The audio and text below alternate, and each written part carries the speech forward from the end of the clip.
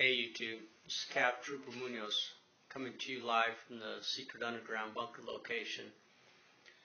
And um, I just wanted to say, in light of the tragedy that happened in Arizona, um, we all need to assess what we're doing with firearms. Uh, I do believe the situation, although tragic, could have easily been prevented by just some simple risk assessment. Handing a fully automatic weapon to a child by a experienced instructor you know that we all bear personal responsibility for our actions uh, I know that there's people screaming that, you know, sue this person, sue that person over what happened. It's not going to bring back that instructor. It's only going to prolong the pain and the grief and give more ammo to the anti-gunners who are feeding off of this kind of story. The best thing you can do in this situation, in my opinion, is to think about what happened if you are a certified firearms instructor, if you are somebody who shows other people how to shoot,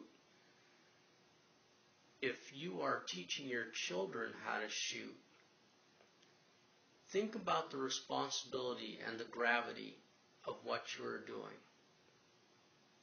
A simple risk assessment may save a life. That's all it is.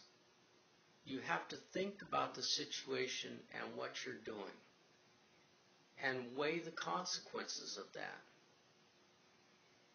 In this case, there were many breakdowns in the risk assessment process. The parents of the child, the instructor, who unfortunately paid the ultimate price, bears the brunt of this tragedy because as an instructor, they are responsible for doing the risk assessment. And in this case, it was not done.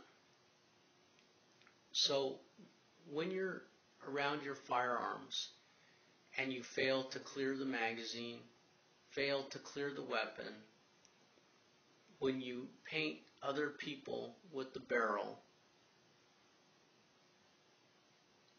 Think about it. Stop. Think about what you're doing. Go back to the basics. That can prevent the majority of these tragedies. And instructors, you should know. You should be doing a risk assessment with every person out at the range who's on that range. Now today I was at the range, and I'll have some more video of that later. And the range officer's cell phone rang. And they quickly, without giving people time to clear their weapons, called a ceasefire and took that call. Once again, this is about risk assessment, about stepping back from having to do everything so quickly, taking the time to do things right. The instructor should have told the person to wait, called the ceasefire, called the right lane clear and the left lanes clear, made, walked up and down that line to make sure all the rifles and were in safe with magazines out and bolt to the rear before answering the call. Let's tighten it up, people. We don't need to give these anti-gunners any more bad news stories than they already have.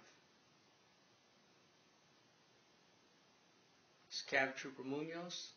I'm out.